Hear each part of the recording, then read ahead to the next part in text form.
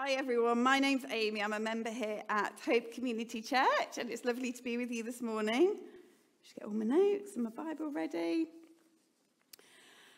Okay, so hope everyone's had a lovely half term. Those that have been off for the week and um, a nice rainy day to welcome us into the new week. So, um, in the last week, I think anybody that has been studying and looking at the book of Isaiah with us as a church has been reading chapters 40 to 42. Have you all got on with that? All right? Yeah? Good, good. Anybody want to share? No.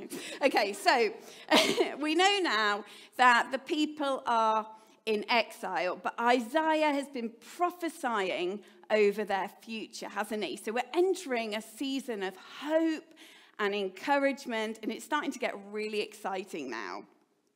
And so he's been speaking about comfort and hope. And this coming week, we're going to be diving into chapters 43 to 48, where you'll be pleased to know that we're continuing this message of hope. It's a great few chapters of I've been studying it over the last few weeks. Um, it's really encouraging, and I'd really encourage everyone to continue reading chapters 43 to 48. Today, we're going to predominantly be focusing on chapter 43, verses 1 to 7. And I'd really encourage you, because we're literally going to kind of pull it apart a little bit. So if you do have your Bibles on you, turn to Isaiah chapter 43, verses 1 to 7, or open your Bible up, whatever you want to do. But like I said, sort of packaging it all together, it's well worth exploring the full 43 to 48 this week. So I'm going to invite my one and only husband up to just read us chapters 43, 1 to 7. One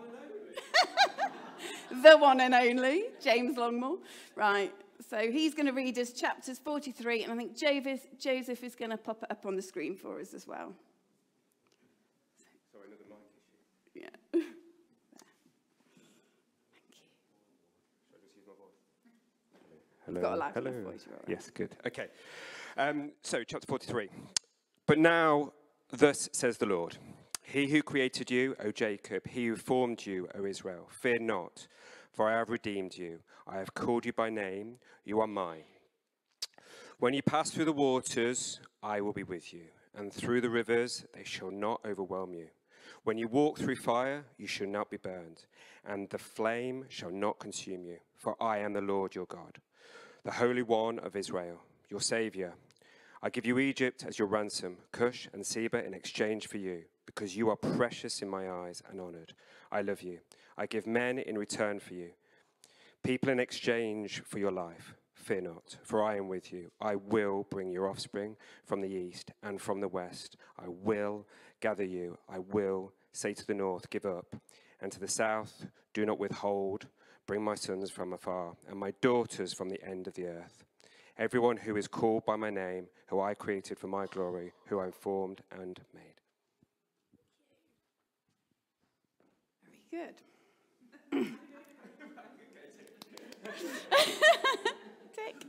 Thanks, James. Um, okay, so notice at the beginning of chapter 43, it begins with, but now. But now implies, doesn't it, that something has happened, which we know because we've been studying the book of Isaiah all the way through up until this point. We know that this has been, you know, chapters 1 to 39 was very much Isaiah's message of judgment and hope for Jerusalem, predicting that through Assyria, then Babylon, Israel's kingdom would come crashing down, right? But now we're entering a period where the Lord has allowed his people to go into exile. But now we're entering this new season where the Lord is rescuing them. He's calling them out of exile. So we're entering a period of hope. And so the but now means and suggests to us actually something else is coming. But now something new is coming. And so he continues, but now says the Lord. But now says the Lord, he who created you, O Jacob, he who formed you, O Israel, fear not, for I have redeemed you. I have called you by name. You are mine. Fear not. I have redeemed you. I have created you. I have called you by name. You are mine. It begins here with fear not. Fear not is a command from the Lord. He is commanding his people, they don't need to be afraid. Fear not. It is a command that we are familiar with in the New Testament, aren't we, as well? Fear not, do not be afraid. And then it's followed by the promises of the Lord. The promises of not only who they are, but whose they are. He is not saying, I am going to redeem you. He is saying, I have redeemed you. Know that at, the at this moment in time, the people of Judah were afraid. They were afraid of the Babylonian army. They were afraid of being in exile. They had been in exile for 70 years. But here, God is trying to point them past their present and looking towards their future. The word redeemed. When we think of redeem, my first thought was when I think of redeem, I think of, oh, we can redeem a coupon. Oh, they've redeemed themselves. But actually, in this context, it's very, very important that we understand what redeemed means, what redemption is. The Hebrew root, root word for redeemed is gal, G A A L. And redemption was the purchasing of a slave back in those days, a slave in the marketplace. And actually, the word redeemed or redeem is found 18 times in the book of Isaiah. The Redeemer who was usually a relative of some kind, somebody that was in slavery, would buy their relative out of slavery and out of debt. It was a price that that person who was in slavery, who was in debt, they could not pay themselves. So they were relying on their Redeemer to buy them out of slavery or debt. It was a price that they couldn't pay. And actually, when we look back through the Old Testament, we can see in Exodus that, of course, God brought this nation out of the house of slavery in Egypt, didn't he? He didn't just bring them out, this was a mass exodus. I'm sure everybody knows the story where we see God at work in the most amazing way. And later on in this chapter, as you start to read through the chapters 43 to 48 this week, as you read through chapters 43, you'll see in verse 16, God reminds them of this. He says, Thus says the Lord, who makes a way in the sea, a path in the mighty waters. Of course, we know the story of the parting of the Red Sea, where he brings them out of slavery. When God brought them out of Egypt, out of slavery, he then took them to the wilderness in Sinai. And he told them at this point, we can see in Deuteronomy that he said, You are my treasured possession. Israel were his treasured possession. They were a holy nation. And he said to them, I am the Lord your God who brought you out of the land of Egypt, out of the house of slavery. And now he is saying them, he's saying, Fear not. I have redeemed you. I have called you by name. You are mine. And even in verse 5, a little bit further down in the passages, he says again, Fear not, I am with you. The commands twice, followed by his everlasting promises. After all these years in exile, imagine, just imagine how they must be feeling. But he is saying to them, I have not forgotten you. His assurance that no matter what choices they had chosen, what decisions that they'd made, what bad mistakes they'd decided to do, what circumstances or situation they were in, as dire as it was, as rubbish they was feeling, he is giving them hope for the future. And he is saying, don't look back, look forwards now. He is setting them free again. And therefore, their identity is in them. He is with them, and they can trust him. They can have hope because God is the one who's called them and named them. And he is saying, You are mine.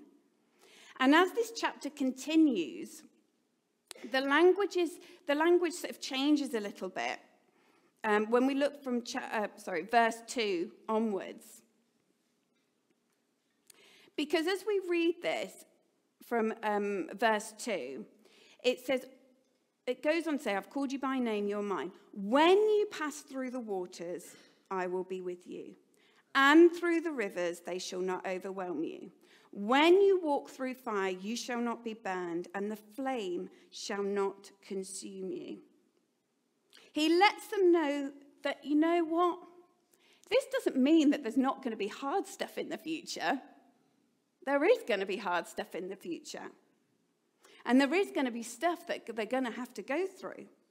But it's a reminder of the Lord's protection in all of these elements. And it reminds us of maybe some of the stories in the Old Testament. You know, in Daniel, the three sons of Judah were cast into the furnace because they would not worship an idol, but of course, God protected them and they didn't burn. And so, God is saying here to them that although they don't need to fear that they are His, that's a promise that it doesn't necessarily mean that they're not going to face any storms or any fiery situations. They will, and so will we. But God is promising them that He will be with them, that He will look after them, and that they will get through it. When you pass through the waters and through the rivers, when you walk through the fire, you will get through it. You will get through it. And maybe I wonder if perhaps at this point, these people are thinking, why is God doing this? Do we ever think sometimes, why is God turning our situations? Why would God do this to me? Or sometimes you maybe feel so unworthy. Why would God do this? Why would He have any interest in me?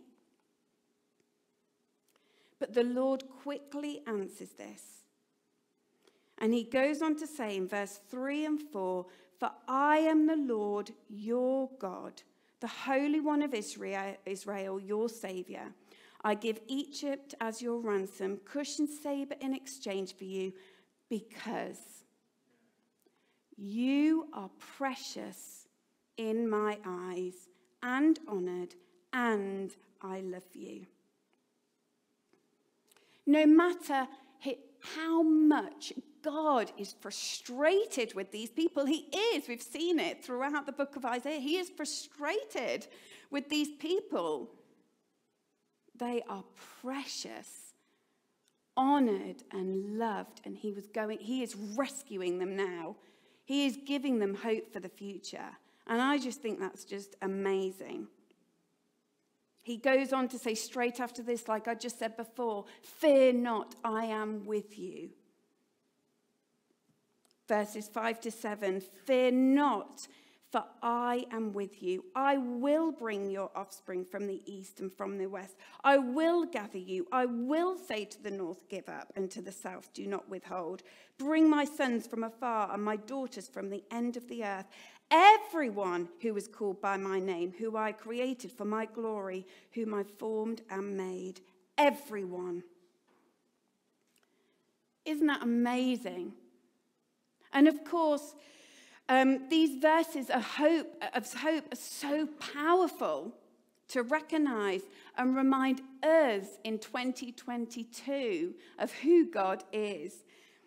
Because they also remind us and can point us towards Jesus. Because, of course, about 700 years after this point, God gave us much more than a nation. He gave his one and only Son, Jesus. And through Jesus, through his death and resurrection on the cross, cross, we too are redeemed. He paid the price for our sin. He cleared our debt, and we are completely forgiven and free. As I was preparing, I was reminded in the book of um, Ephesians, just need to find it. Bear with me. In the book of Ephesians, if you look at chapter 1, verses um, 7 to 9, Paul is speaking to um, the Ephesians, and he says, In him, in Jesus, we have redemption through his blood, the forgiveness of our trespasses according to the riches of his grace, which he lavished upon us in all wisdom and insight, making known to us the mystery of his will according to his purpose, which he set forth in Christ we too are redeemed and rescued. And the way the book of Isaiah points us toward, towards God's ultimate rescue plan is wonderful. Our God is a God of redemption, love, and hope. And we will go through difficulties. We know that. We know that we are going to go through some turbulence in life. But what God promises the Israelites, He promises for us too. And why? Because He loves you. Because you are His handiwork. You are His masterpiece. And the Hebrew word for the word precious that He describes to these people in chapter 43 the Hebrew word is yakar, meaning highly valued. Precious means highly valued, highly esteemed, highly thought of. This is our identity. Jesus is our Redeemer. Our identity is in Him and through Him. It got me thinking about identity because I think that this chapter 43 speaks such a lot of identity and who we are as believers of Christ. And I think a lot of us, in some way, shape, or form, do struggle with our identity.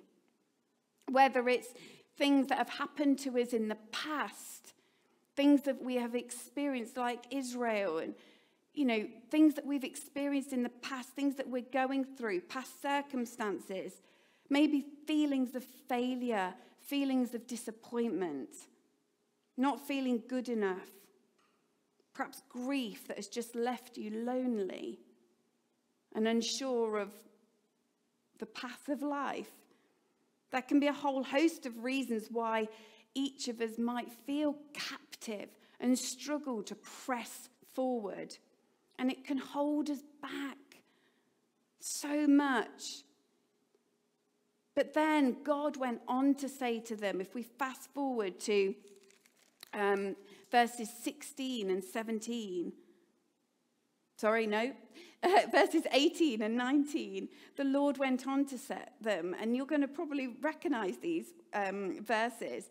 Remember not the former things, nor consider the things of old. Behold, I am doing a new thing. Now it springs forth. Do you not perceive it? I will make a way in the wilderness and rivers in the desert. The wild beasts will honor me, the jackals and the ostriches. For I give water in the wilderness, rivers in the desert, to give drink to my chosen people, the people who I formed for myself, that they might declare my praise.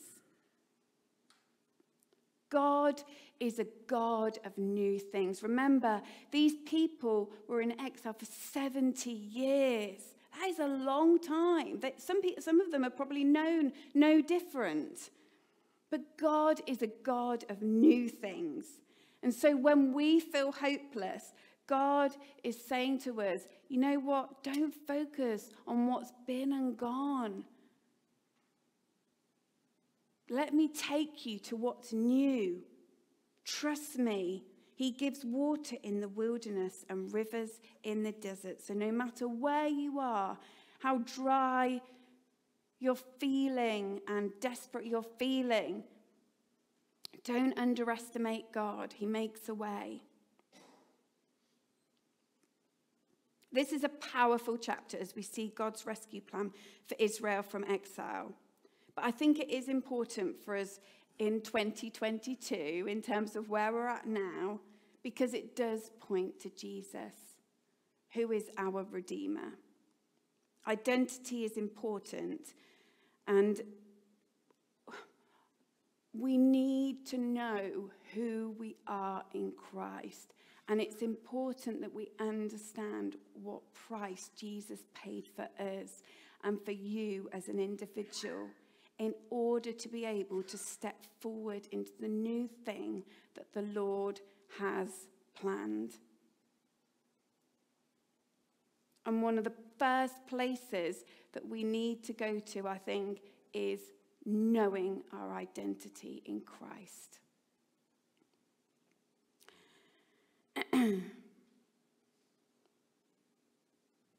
I think he, we need to see, we need to believe, we need to be able to take hold of the new things. And I just want to pray this morning that He would show you this morning who you are in order for you to be able to step into the new. I just wanted to take a little bit of time now, really, to just be able to just spend a little bit of time with Jesus because I felt as I was preparing this, this identity piece is really, really important.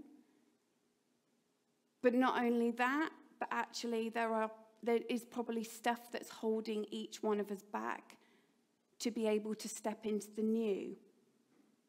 It might be a case of um, you don't fully know your identity, you don't know what the Lord is saying to you because actually you're full of stuff and words from the past or words that you believe about yourself rather than actually what God says about you. This morning, I wasn't feeling very well last night. I went to bed really early. And this morning, I woke up and I just felt the Lord say, I want you to look back at Isaiah 43 and write down some scriptures of encouragement based on actually what I'm saying to these people and what I'm saying to the people of today. And so that's what I've done. And I've, um, and feel free to take any away. I've done a few copies. But basically, what I want to do is just ask some of the worship team or a somebody from the worship team to come up and just play as I just I just want us to just close our eyes and I'm just going to speak some words of encouragement and truth over us very much based on what the Lord is saying to Israel in chapter 43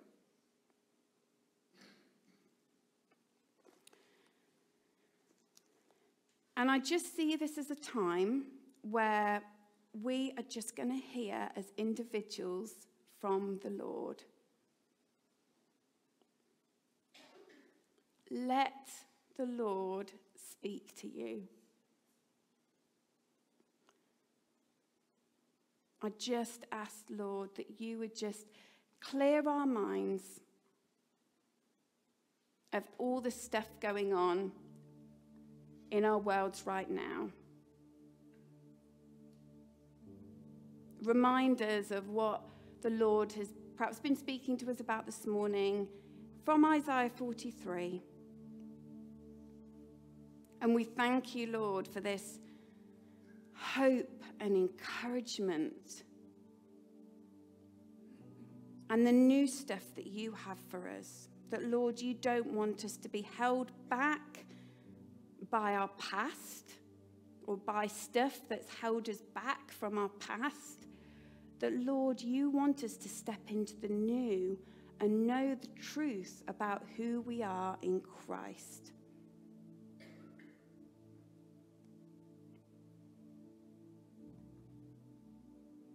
Fear not, says the Lord. Whatever you are afraid of, whatever you are anxious about this morning, perhaps you are feeling captive. Perhaps you are feeling caught up in just stuff. If there's anything stopping you from moving forward, the Lord says, Fear not.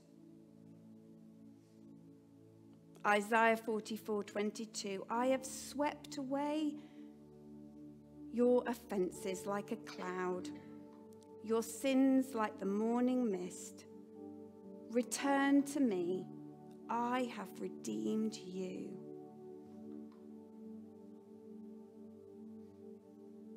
Psalm 56 When I am afraid, I put my trust in you, Jesus. Lord, help us this morning to turn towards you. You, Lord, are the lifter of our heads. I pray, Jesus, that as we turn our eyes towards you, Jesus, that you would remove the fear, that you would fill us up with your love and your peace. And it says, When I'm afraid, I put my trust in you. I pray, God, that now I choose to put my trust in you. The Lord says, I have redeemed you. I have swept away your offenses like a cloud, your sins like the morning mist. Return to me, I have redeemed you.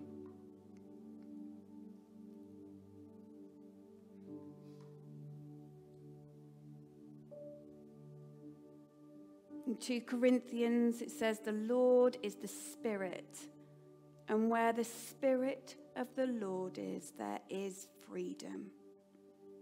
Lord, this morning we just claim your freedom in Christ. We pray, Lord, this morning that you would remove any anxiety, Lord, anything that is holding us back from what you are calling us into. Whether that's knowing our identity, the truth about who we are, or whether that is stepping into something new that seems scary. But Lord, we know deep down that you are calling us into it. Fear not, I am with you. It says in Matthew 28, verse 20, And behold, I am with you always to the end of the age. Thank you, Lord Jesus, that you are with us always and forever, that you are with us in our sleep, that you are with us when we wake up, that you are with us as we um, go to bed at night, that Lord, you are with us in the workplace, that you are with us in school, that you are with us just walking down the road, minding our own business. Lord, you are with us when we are feeling scared. You are with us when we are worried. You are with us when we are filled with joy. Lord, thank you. Help us to know your presence in every single part of our lives. You are precious in my eyes and honored, and I love you. You are his treasured possession. You are precious to God. Thank you, Jesus, that I am loved. Thank you, Jesus, that you love me so much, that you love every single one of us so much. And nothing can separate us from the love of Christ. Remember not the former things, the things of old, because I am doing a new thing. Now it springs forth. Do you not perceive it? And as Katie said in the small talk, it says in 2 Corinthians 5 if anyone is in Christ, he is a new creation.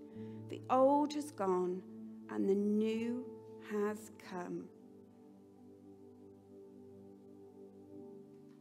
For God so loved the world that he gave his one and only Son, that whoever believes in him shall not perish but have eternal life. We don't need to fear. We don't need to be afraid. We are forgiven. We can have a really close relationship with Jesus and know that we are loved and precious and honored. And I just pray this morning that as we leave today that we would know these truths and that actually we are prepared and ready and choose to step into the new. In Jesus' name, amen.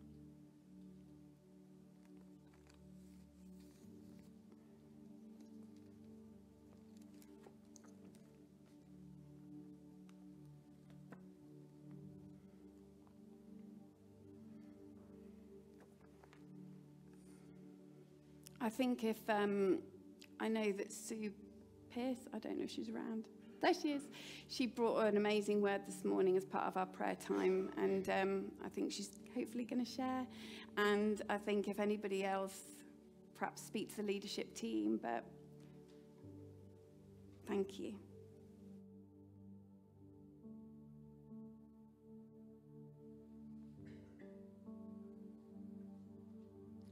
Amy's spoken quite a bit about um, stepping into new things, and um, we've thought a lot about storms and um, not being on our own because God is with us. And yesterday, when I was um, having my um, my quiet time, I had a picture um, which I thought was just for me at the time, but I think actually it's right to share it.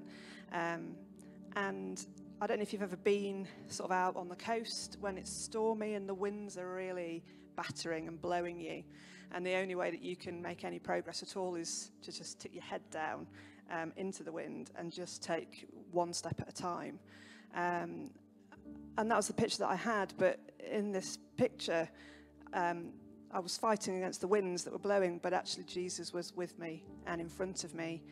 Um, and sometimes I think when we're caught in those storms, to take the next step forward, which is all we can see to do, you just have to hang on to Jesus and know that He's with you, um, in front of you, and just leading you on to the to the next thing. And you might not be able to see where you're getting to eventually, but just taking the next step, knowing that God is with you, um, is uh, is all you can do.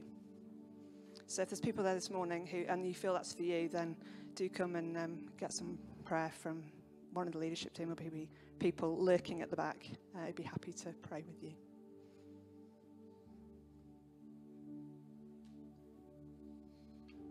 Come on, Carol.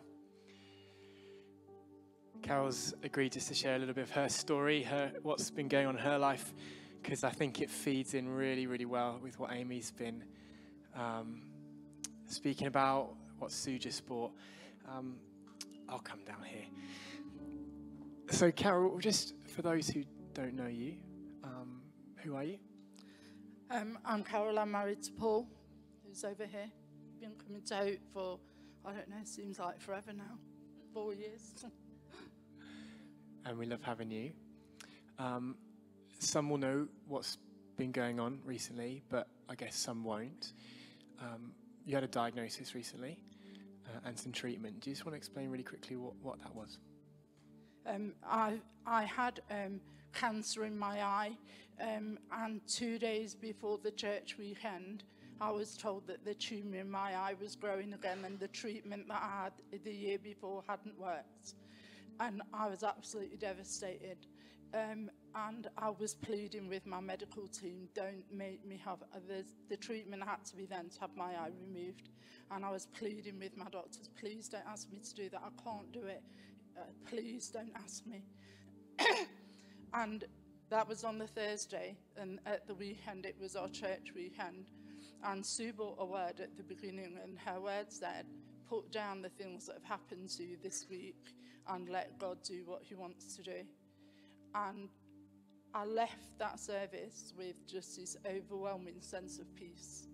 And on the following Tuesday, my oncology nurse from Sheffield rang me to tell me what the meeting had decided that they were going to do with my eye. And I, I said to her, before you say anything, I need to tell you that my eye has got to go. And she said to me, How have you come to that decision? And I explained to her, and she said, I'm a Christian as well. And there's this lady that had got to walk this journey with me that was also a Christian. And so the surgery was booked for the end of July. And then there was a, a service after the operation, wasn't there, where you had the shield in, um, where we were talking about healing. Um, did God heal you? No, God didn't heal me because I had to have my eye removed. Um, when I went for my surgery, um, on the day that I had my surgery, the oncology nurse came to see me before I went to theatre and prayed with me, which was lovely. And when I got to theatre, um, I don't do veins at all. They had two anaesthetists get cannulas into my hands for the general anaesthetic. And it was like I was just above there, like floating, just looking down on it, just at this total state of peace with myself and everything that was going on around me. Then, after my eye had been removed, then they put a conformer in my eye. Um, and we were at church, and Matt was talking about um, seeing what God wants us to do. And the conformer just stayed in my eye. And While I was the, in that service, I was sat over there, and it came out, and it was in my hand. And God was saying to me, You don't need that eye to see what I want you to do. And that is the only time it ever came out of my eye while we were in the church on that Sunday morning. And it, it's been, it's been, it's not been an easy journey, and it won't be an easy journey going forward because though the tumour in my eye's gone, there's no guarantee that the cancer won't spread somewhere else. I have to have surveillance every six months, but at the moment, I'm just at peace with it all, and every day is a new day, and that I'm in that place because of God. Thank you.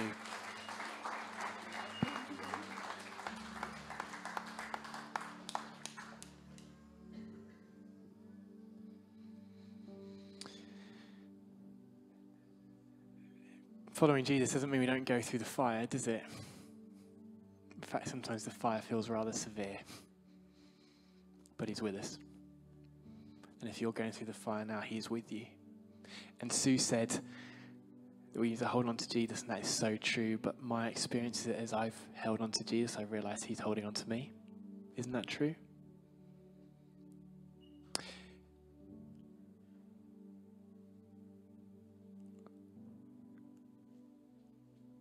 And there's so many things to be afraid of, so many things to be anxious about. And yet, the promise is a promise of peace that He is with us. And so, we are going to sing and see what God wants to do, but I want to invite you to stand. And I want us just to, to claim that peace.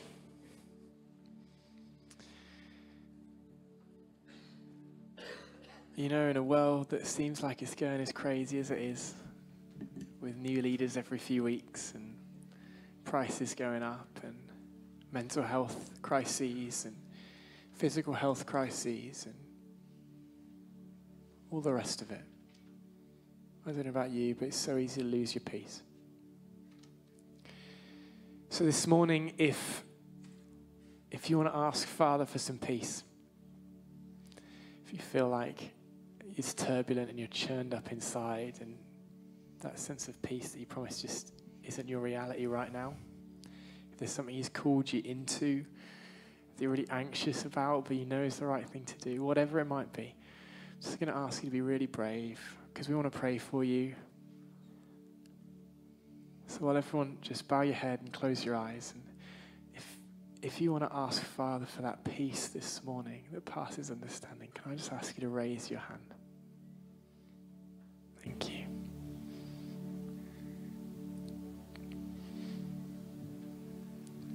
Don't be afraid, get it on up.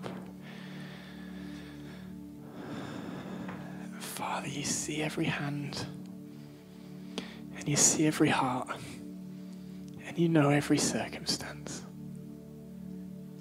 So, Holy Spirit, come now. Come, Holy Spirit, bring your peace that you promise. Cast out all fear, all worry, all anxiety. Holy Spirit, we invite you to come and minister now into the places of fear and anxiety and worry. Come, Holy Spirit, breathe. Breathe on us, we pray.